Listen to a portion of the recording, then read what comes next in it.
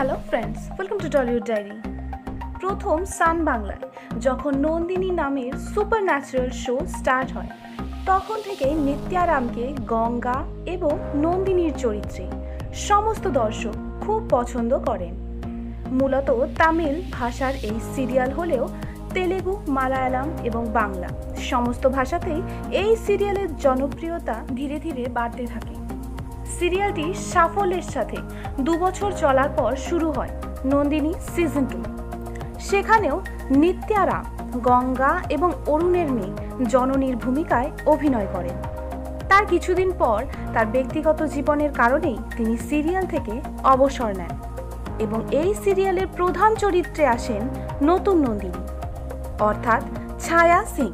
প্রথম প্রথম ছায়া সিংকে দর্শকদের মেনে নিতে অনেক সমস্যা হয়েছিল।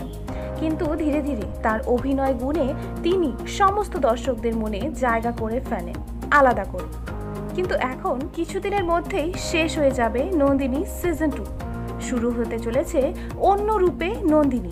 এই সোমবার থেকে প্রতিদিন সন্ধে সাড়ে ছটায়। কিন্তু তা বলে আমরা আমাদের আসল নন্দিনী, অর্থাৎ নিত্যারামকে কখনোই ভুলে যেতে পারব না। কারণ তিনি হলেন সেরা সেরা।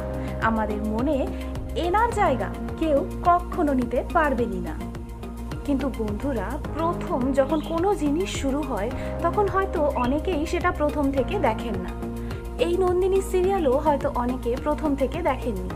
এর ওর কাছ থেকে শুনে বুঝতে পেরেছিলেন যে নন্দিনীর ঘটনা এবং নিত্যারামের অভিনয় গুণ কতটা বেশি সুন্দর এবং কতটা জনপ্রিয় হয়ে গেছিল। তেমনি করেই আসতে চলেছে নতুন রূপে নন্দিনী। আশা করি আপনাদের এই নতুন নন্দিনীকেও খুবই পছন্দ হবে।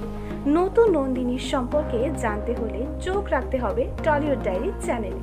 আপনারা কতটা এক্সাইটেড নতুন নন্দিনীকে নিয়ে, সেটা আমাদেরকে কমেন্ট বক্সে লিখে জানাতে একদমই ভুলবেন না। আর বন্ধুরা, যারা এখনও পর্যন্ত আমাদের চ্যানেলটিকে সাবস্ক্রাইব করেননি, তারা টলিউড ডায়েরি চ্যানেলটিকে প্লিজ সাবস্ক্রাইব করুন এবং পাশে থাকা বেল আইকনটি বাজিয়ে দিতে একদমই ভুলবেন না। তো দেখা হচ্ছে আপনাদের সাথে নেক্সট ভিডিওতে ততক্ষণ পর্যন্ত ভালো থাকুন, সুস্থ থাকুন। ভিডিওটি ভালো লেগে থাকলে প্লিজ লাইক করুন শেয়ার করুন আপনার বন্ধুদের সাথে। আর অবশ্যই দেখতে থাকুন টলিউড ডায়েরি